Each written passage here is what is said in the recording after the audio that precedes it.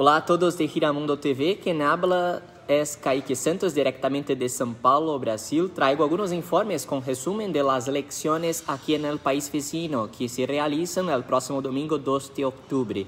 La población brasileña va a elegir a sus candidatos a presidente, jefe del Poder Ejecutivo Federal, pero también a gobernadores, es decir, a los jefes a nivel estatal y a los nuevos miembros de la Cámara de Diputados, del Senado y de los parlamentos regionales. El domingo de primera vuelta, la votación comienza a las 8 de la mañana y termina a las 5 de la tarde. Esto en la zona horaria de Brasilia. Hay algunos lugares en Brasil que tienen diferentes horas.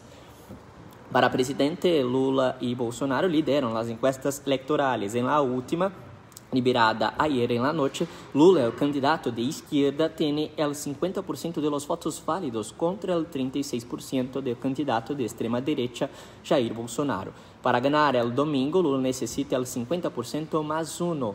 Por tanto, grande oportunidad de ganar y regresar a la presidencia. Si no alcanza ese número, la nueva votación solo entre los dos candidatos debe ser el 30 de octubre, cuando se realiza a segunda volta. Algumas encuestas indicam a Lula como favorito em mais ou menos 15 estados e Bolsonaro em 5, mas o Distrito Federal.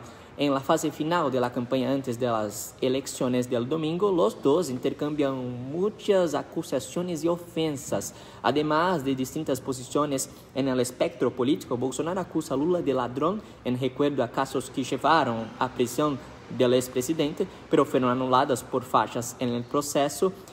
Lula sigue diciendo que es inocente y tiene fuertes críticas a los cuatro años de gobierno de Jair Bolsonaro, principalmente em relação à atividade de atuação de combate da pandemia de Covid-19.